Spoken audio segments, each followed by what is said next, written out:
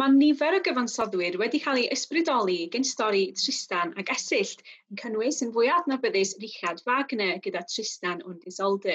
Dwi'n gwybod mae hwn wedi un o dy hoff operau di, Sian. Felly, wedi di ddeitha ni sut brofiad oedd perfformio mm. stori mor gyfarwydd i ti? A beth am y stori sy'n gwneud i gyfansoddwyr fod efo gymaint o ddiddordeb yn ei hyd heddiw?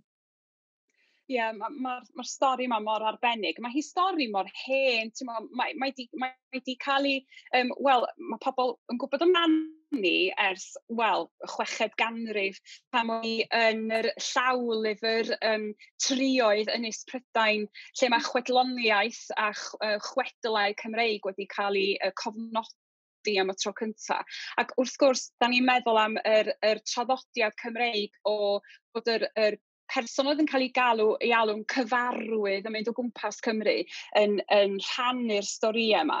Felly, mae'n mae o'n hyfryd o beth i feddwl bod stori mor hen o hon yn dal yn real i ni heddiw. So, mae'r themau yn y stori, mae'n golygu rhywbeth i bob un ohono ni. Mae'r ma, themau yma, maen nhw'n gweld mae'n rhaglen ni teledu, mewn um, dramau, mewn llyfrau, maen nhw dal i fynd, maen nhw'n themau oes o, tymod, cariad, ffyddlondeb, colled, um, cael dod o'r dychu, ffyddlondeb, yr, yr holl bethau yma sy'n yn cyffwrdd ni gyd yn yn bywydau. A os ti'n gallu rhoi y themau mae gyd i fewn i un benod o pobl y cwm, da ni'n gweld yn un aml iawn dydan. Mm. A hmm. dyna pam dwi'n meddwl, mae yna rhywbeth i bawb. Ond mae yna hefyd yn yr, yn yr opera, mae yna neges ar ei diwedd hi, pan maen nhw'n sôn am yr, bod yr hosyn yn dal i dyfu er bod o'n cael ei dorri lawr, ond dal i dyfu. Mae hwnna, mae yna neges bach obaith ar y diwedd. Felly ma, oedd y cyfansoddwr, oedd o'n galaru hun os oedd wedi colli wraig, um, felly oedd o'n gallu yngeithi hefyd efo'r golled oedd y cymeriadau yn, yn, ei, yn ei profi yn y stori. Mae, ti'n bod, da ni gyd efo'r chwilfrydedd mawr yma ynglyn â hyd a lledrys a yr diod hyd a ers pan da ni blant bach, mae ma, ma, ma storion fel un yn, yn, wel, maen nhw'n ma nhw bethau arbennig yn dydyn i ni.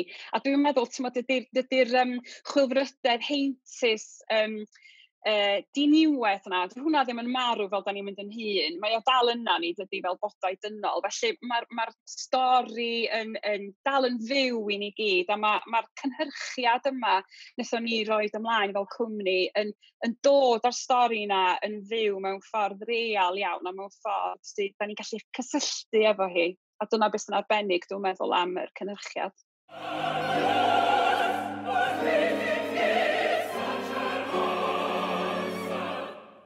Dwi jyst teimlo just uh, i fenni gyda, gyda uh, beth wedi o Sian, um, bod dwi, dwi jyst yn teimlo mor falch i, i fod rhan o rhywbeth mor arbennig fel Lyfannau Bay.